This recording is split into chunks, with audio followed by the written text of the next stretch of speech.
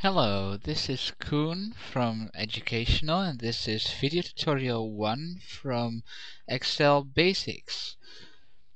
In this tutorial we're gonna learn you how to use Excel 2003 the basic functions. In this video tutorial, lesson 1 of many to come of course, we are going to discuss the general workflow of Excel how you can use cells, what they are. Furthermore, we're going to discuss some um, formatting and uh, some conditional formatting too.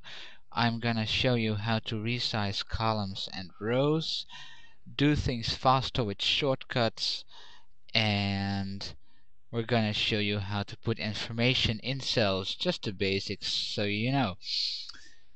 When you start Excel for the first time you see this screen. You see the giant worksheet.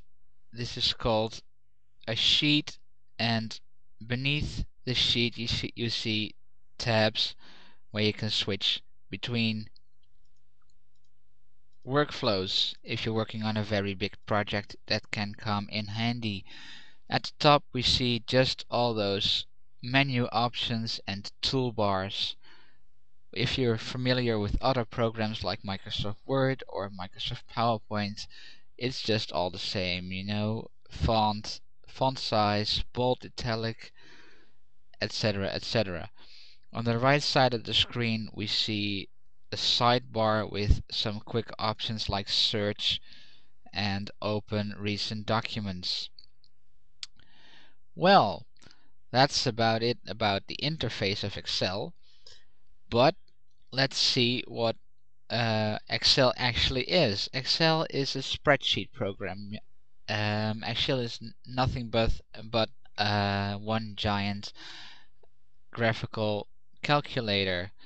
Um, it's easy for you and for people around you to make presentations in these environments um, of revenues or your personal finance or anything else that involves numbers or graphs. Um, all these tiny cells you see here, that's your working stage. You can select them, you can type things into them, etc. So that's about what Excel is actually. It's um, it's one big calculator.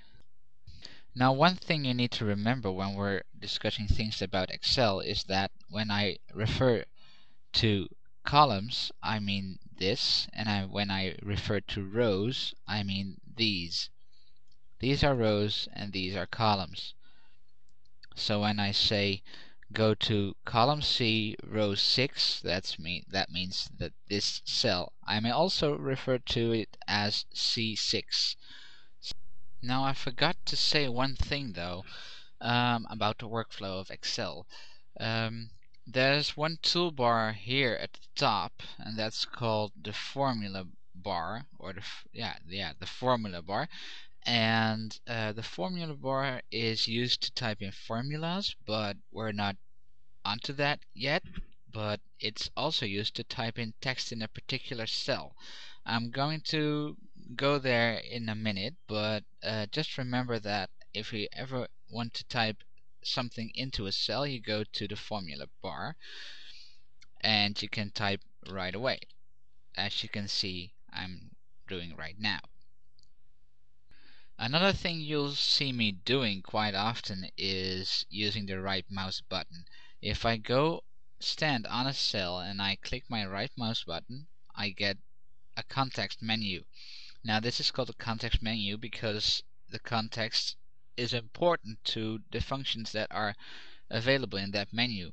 If I click on a cell that is filled with text, I will get another, a different context menu than when I click on a cell that's not filled with text. Or when I click on a graph, I will get another context menu that's different from the one you saw just the other second. So that's about context menus and the right mouse button. Uh, always check the right mouse button if you want to do something on a cell. Great chances are that uh, your action you want to do is in that context menu. Now we're at it, um, let's talk about a little more about what we can do with the mouse. The mouse is a very important instrument in such a complex program as Excel. Um, we can do virtually everything with the mouse. Of course, a lot with keyboard shortcuts too, but we'll get to that in a minute. Um, if you want to select a single cell, that's just one click with the left mouse button. If you want to select a range of cells, we just apply a drag command with the mouse. If you're not familiar with the drag command with the mouse, I suggest you follow a general computer lesson in which it will be explained to you. If you want to select one single column, you saw me do that just the other second. That's just one click on the column letter. In this case, I selected the whole C column. Now the advantage of this is that I selected all the cells in C column no matter how many information I have in that particular column I have it selected. So that's about selecting multiple cells.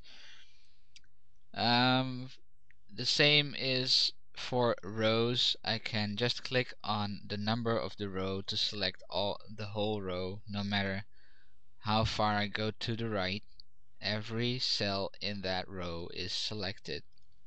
Can come in handy extremely often. Um, the whole worksheet, the whole sheet you're working on, can be selected by going to the upper left corner and click the cell that's with nothing in it, no column letter or no um, row number and you see the whole worksheet is selected. Now if I go to, oh, oops, if I go to the right or I go down, I see that no matter where I go, everything is selected. So that's about selecting things and how we use the mouse in Excel 2003. Now there are some other interesting things that you might want to know. Um, on the keyboard there are several keys that can help you with selecting complex um, cell patterns. If we hold down the control key and we click on a cell we can see that you can select cells that are not directly linked to each other, not directly neighbors of each other. So you can do whatever you want to do on virtually any cell group or any cell selection you make with control. Another click on the cell makes it makes the selection go away.